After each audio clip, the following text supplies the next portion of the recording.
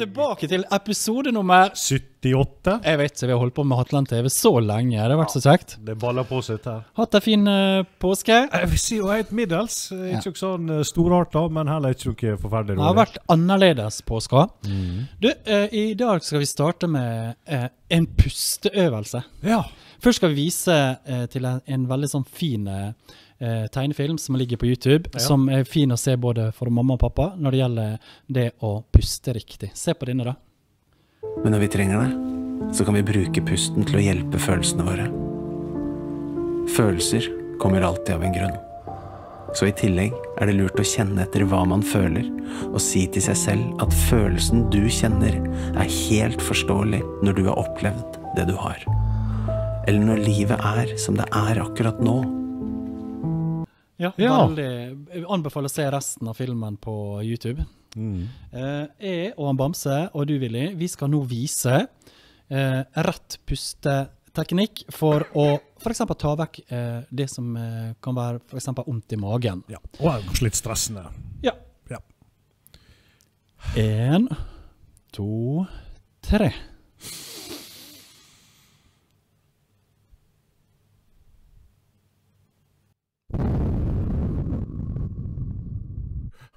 Bamse, bra, bra, Bamse. Ja. Ja. Du, eh, jeg ser du har tatt med deg noe nytt på bordet her, Willy. Ja.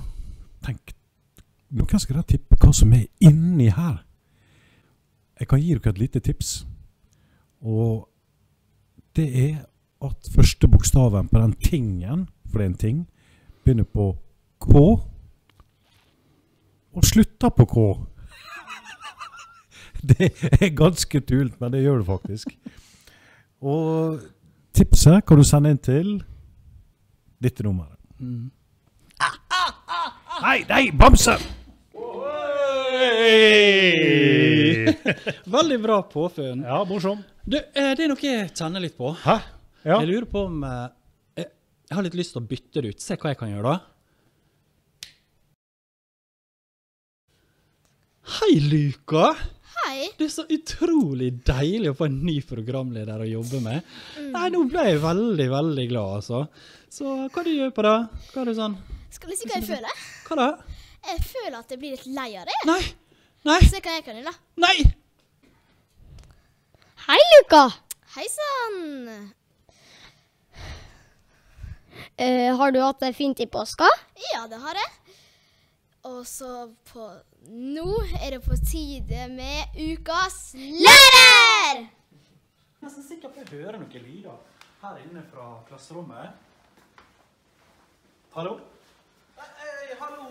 Er du Alexander? Ja, hei. Du er påskas lærer. Nei, er det? Hei, det blir så bra. Jeg har jo en liten undervisningstime her. da. Mange av elevene har tatt ned stoler. Er. Oi, dette blir action. Å, hei! Da er vi her med han Alexander. Eh, timelærer på 7. trinn, Alexander. Eh, hva tenker du om å bli påskasselærer her på Hatlandet TV? Nei, det var veldig hyggelig. Ja, På tide at du intervjuer en mann. Ja, det syns jeg er kjekt Ja. å gjøre. Jeg har eh, akkurat det samme oppsettet med dere. Vi har sju spørsmål som vi skal gjennom. Eh, og spørsmål nummer én til dere det er sånn Det er jo mange her på skolen som lurer på hvordan klarer du å opprettholde denne formen der, da? Nei, det vet du hva. Jeg drikker mye vann. Ja? Det vet elevene mine òg. Ja? Så jeg holder meg litt i aktivitet. da. ja. Trener mye? Ja, det vil jeg si. Ja. Fire-fem ganger i uka. Det er bra. Eh, da fikk dere svar på det, dere som er ute etter dagens eh, treningstips. Eh, spørsmål nummer to, den kan jo du. Da skal du liksom velge av to. Ja, Hva du liker best, og da bare starter jeg. kjør på. Appelsin eller eple? Appelsin. Manchester United, Liverpool. United. Så deilig! Siff eller Siff Hessa? Oi. Uh, Siff. Siff. Uff. Uff. Saltpotetgull eller paprikapotetgull? Salt. Ja. Svalbard eller Spania? Spania. Kjærestedate eller en kveld med gutta? En kveld med gutta. Ok. Skiskyting eller sandvolleyball? Eh, Sandvolleyball. Mm. Paradise Hotel eller Hatlandet TV? Hatlandet TV. Hallo! Det er veldig bra. Det er innafor. Du, eh, spørsmål nummer tre har gått til alle. Hvordan har det vært å være lærer i disse tidene her nå? Hva du har gjort? Nei, det har vært veldig uvant. Jeg har hatt litt hjemmekontor. Ja. Og så har jeg vært på skolen og hjulpet et par elever som trenger det. Mm. Og så. Har holdt meg inne med kjæresten min og egentlig kjeda meg, da. ja. Du syns det har vært litt kjedelig? Ja, jeg synes Hva det du er litt savner da med å være, liksom, ha den daglige rutinen på jobb? Ja, Jeg savner å være der med alle kollegaene mine Mm. og alle vennene mine. Og så bare ha mulighet til å gjøre det jeg vil, da. Elevene, da? Ja, De savner jeg kjempelite. Nei da. Nei, det er litt sånn rare tider. Eh, Jeg har jo to spørsmål fra elevene dine, Aleksander. Det, det første spørsmålet det er fra Oliver. Han lurer på eh, hvor lenge har du jobba her, og hva var det du gjorde før du kom til Hatlandet? Jeg tror jeg har jobba her tre, tre og et halvt år cirka nå. Og før jeg kom til Hatlandet, så jobba jeg på Ellingsøya barneskole. Ja, Og så litt på Larsgården. litt på Larsborg Næringssida. Da fikk du vite det, Oliver. Det andre spørsmålet det kommer fra Linus. Eh, han lurer på eh, hva du liksom gjør i fritida di nå når du liksom lever det innestengte livet. Hva du gjør? Jeg har møtt på Kjetil et par ganger på Aksla. Har ikke det, Kjetil? Jo da. Og forskjell på oss? Ja. Og så har jeg bruker jeg spille litt, sånn som Ja. dere gjør sikkert. Ja. Og så liker jeg å prate med vennene mine, og så trene litt hjemme, da. ja. Bra. Eh, dette sjuende trinnet, det er kullet som er her i år, hva, hva tenker du du har lyst til å si som er bra med den? Jeg vet hva, De har så god humor, og så er de så hyggelige. Ja? Og ja, jeg savner mest dette med humoren rundt dem. da. Ja. De er vanvittig artige å prate med og være med. da. Og så er de så kjekke og snille. Så bra, da. Så det er en super en. Mm. Ja, det syns jeg òg. Du, eh, hva som er favorittfaget ditt, da? Det er gym. Ah, overraskelse! Yes. Er du klar for dagens utfordring? Kjør på. Wow!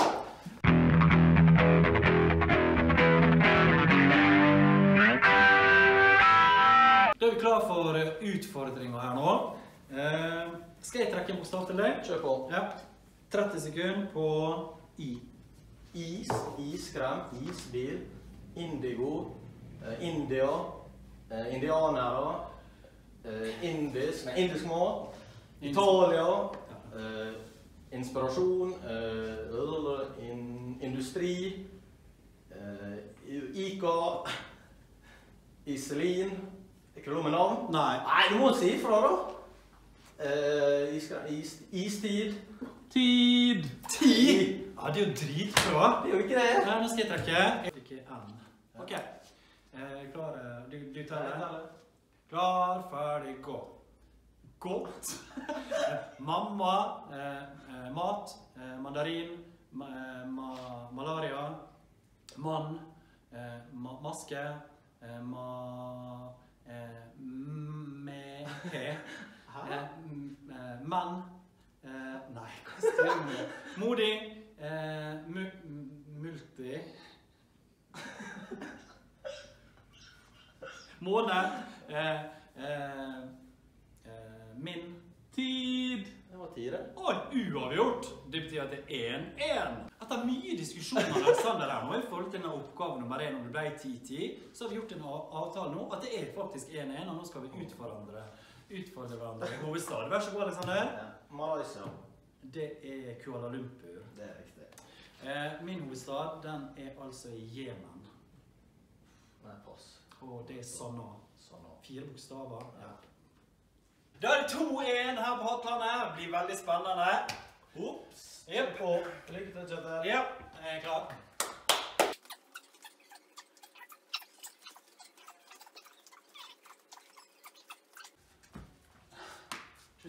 Nå. Lykke til. Oh, jeg tuller på slutten. Tenk, er du dritgod nå, Nei. Jeg er i panikk.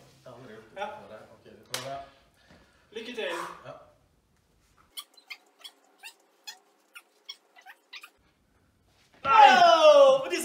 64-1! Storebjørn! Store, heier på han? Altså. Ja, det er klart jeg heier på han. 4-1, Willy. Send pokalen min. Ja. Du, det er ett poeng igjen, men jeg utfordrer det, og jeg har barna i ryggen. Eh, barna, de har Jeg har hørt at jeg har dem. Nei. Det er her, de. Jeg har dem. Jeg tror dere heier på Ja ja, dette ser vi. Ja, Det får vi gjøre. Det, eh, det har jo vært i denne Ja. gangen. Og det har vært noen bursdager. Men hvor har OSME vært denne uka? Det er fredag, og det er tid for premieutdeling! Yeah! Hei, Håkon! Du tippa riktig på Esme-konkurransen. Det var på rundskue. Hei. Vær så god. Vil du hilse til eh, klassen din? Gratulerer, Jo og Tuva. Dere tippa riktig. Det var i gågata. Vær så god, en til hver. Vær så god. Har du lyst til å sende en liten hilsen Tuva, til klassen din? Da bare ser du inn i kameraet, så eh, sier du et eller annet. Hei.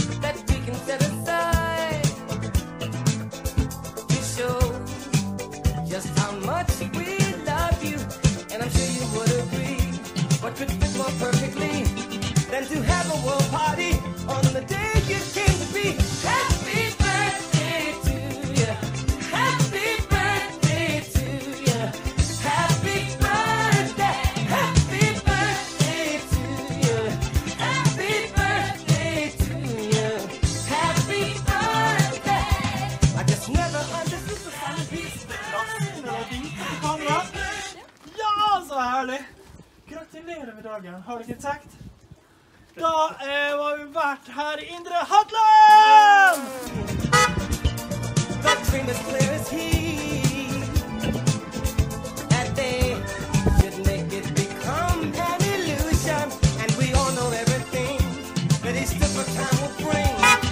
peace,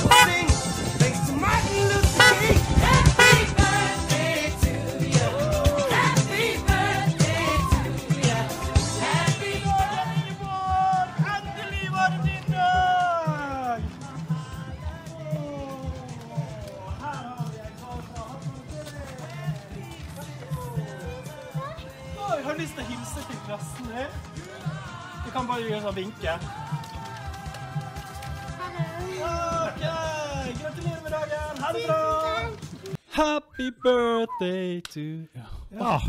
Vi har jo jobb. eh, fantastisk jobb å få lov til å gjøre disse tingene. Du, bursdag, eh, bursdagshilsen går jo til alle som har bursdag i denne perioden her nå. Ja, Ja, det gjør det. det må ikke vi glemme. Du, eh, hva du ville gjort for en venn?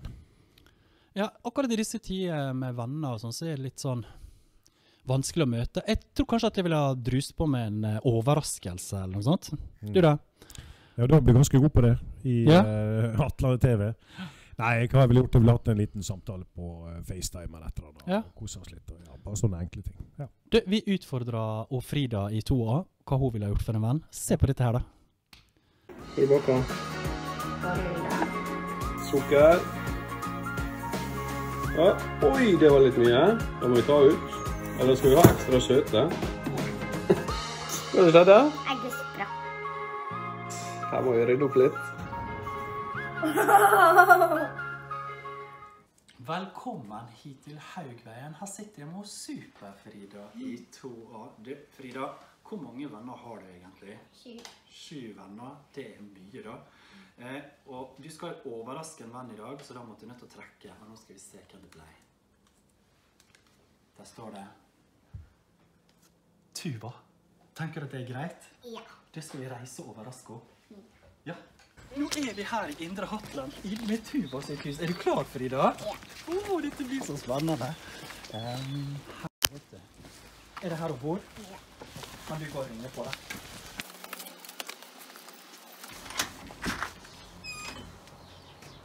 Hei, Frida. Hei, Tuva, du må komme ut litt. Frida har en beskjed til deg. Kjære Tuva, du er morsom, du er god i fotball. Jeg savner deg. Åh, og så har vi en sånn overraskelse! Du, har du det bra? Ja. Savner du Frida? Mhm. Du, og Frida hun savner det sånn at hun ville komme med en overraskelse til deg. Du, dette så ut som skikkelig gode venner. BFFs. Ja, det er herlig, herlig å se sånne ja. Helt topp. Du, eh, ja. siste post før eh, helga. ja. Hva er det? Du, eh, vi har fått eh, ei jente som ikke går på Hatlandet skole. Eh, hun skal gi oss noen eh, tips. Eh, eh, hvem er det, Willy? Det er vel dattera mi. Du, så spennende. Og med denne filmen her, så vil vi ønske alle sammen ei Riktig riktig god, god helg! Hei, mamma og pappa. Jeg har noen gode råd til dere.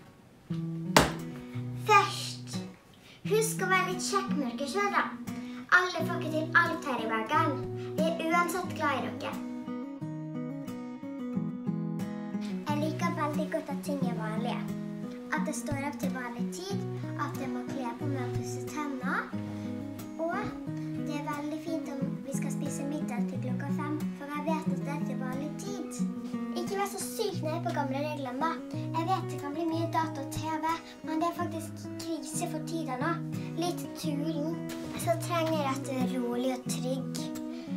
så glad inni her når du sier at dette kommer til å gå over.